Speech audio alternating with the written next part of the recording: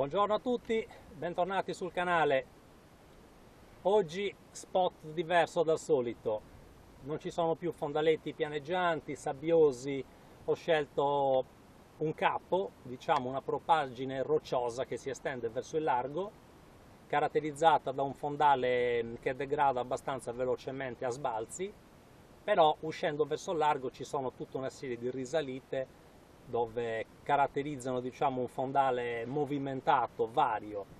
In genere in questo tipo di, di spot è presente della corrente, specialmente in primavera e a, e a fine estate, correnti a volte impetuose che possono essere anche pericolose. Io spesso ho avuto molta difficoltà a rientrare in spot di questo tipo, ecco. quindi bisogna stare attenti alla corrente, se la corrente ci trascina verso largo o verso direzioni pericolose, teniamone conto e poi soprattutto teniamo sempre una bella boa con una buona visuale, con un bel colore, con una bella bandierina che sia comunque visibile da grande distanza perché in genere sono punti esposti al passaggio di nattanti di qualsiasi tipo, può essere il subacqueo che fa paperino, può essere il trainista che sta facendo traino, può essere anche il gommone di turisti che, che sfiorano il capo, la secca a tutta velocità, quindi questi punti così che vanno eh, verso il largo, diciamo, che si allontanano dalla costa, sono, sono pericolosi anche per quanto riguarda il traffico nautico, quindi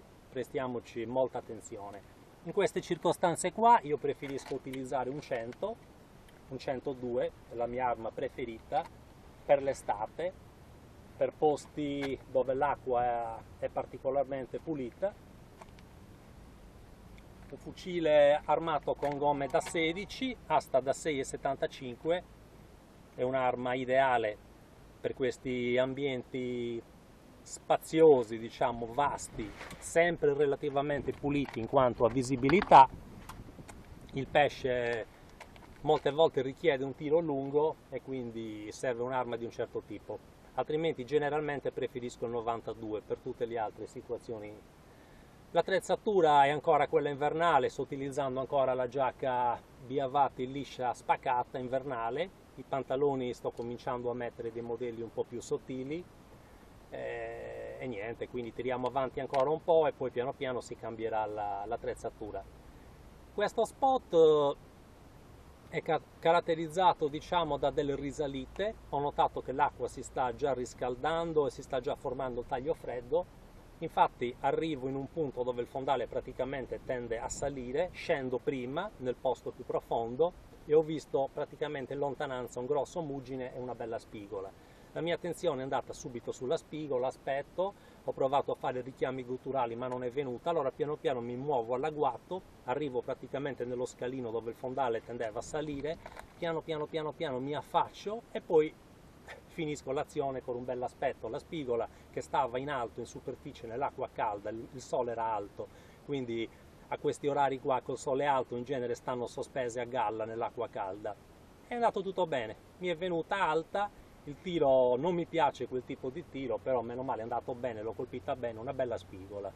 E poi lì, lì vicino, diciamo, una tana nota che conosco da tanti anni, un lastrone basso, mi affaccio, scarico il 100, il 102, lo metto alla potenza minima, accendo la torcia, mi affaccio dentro, ho visto sfilare un'ombra, mi sembrava una corvina, una mustela, un qualcosa del genere, ma la mia attenzione era oltre, perché il fascio luminoso ha praticamente illuminato questo sarago, ho visto l'argento che stava dietro, quindi ho lasciato sfilare il primo pesce e ho sparato in direzione del sarago. Non era messo di piatto, era messo leggermente di traverso, però poi si è incastrato, ho dovuto fare due o tre discese, però bellissimo sarago queste due catture veramente valevano l'entrata in acqua. Diciamo che sono state le prede più importanti e più belle viste.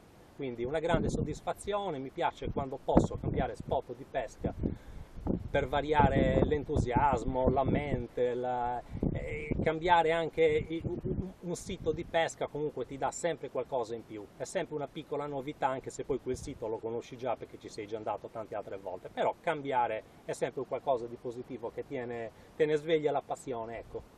Vi ringrazio a tutti, buon proseguimento, ci vediamo alla prossima avventura.